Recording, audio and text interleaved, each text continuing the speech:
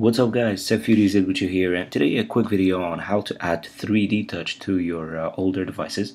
So as you all know the new iPhone 6s and 6s Plus have the 3D touch option where when you long press uh, or you force press the screen a certain pop-up will uh, appear. So I'm going to show you how it looks like. So let's try it here. There you go. You got it on phone. So basically just up pops up in a menu with uh, some extra features or some shortcuts directly into the app. So in order to do this, the first thing that you need to do is, uh, first of all, jailbreak your device if you do not have a uh, jailbroken device. If you don't know how to do it, I will put the link in the description below. Second thing is to go to Cydia and to look for reveal menu.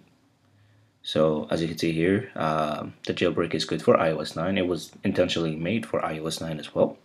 So the only thing that you need to do is install this and you will find it directly in Big Boss uh, repo. So it will be the Big Boss repo, the default repo. If you guys need the link, uh, just in case you removed it, just let me know.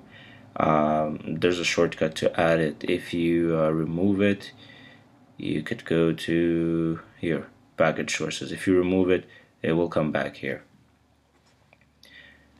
So it does work on all uh, compatible apps. That means that it does not run only on native apps. For example, Flipboard have been updated recently to add a 3D touch effect. So if I long press on it, here you go.